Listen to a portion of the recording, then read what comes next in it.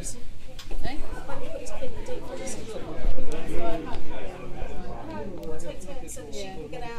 Yeah, definitely. well, we'll just swap her between me and you, Aidan, and. Was she fit?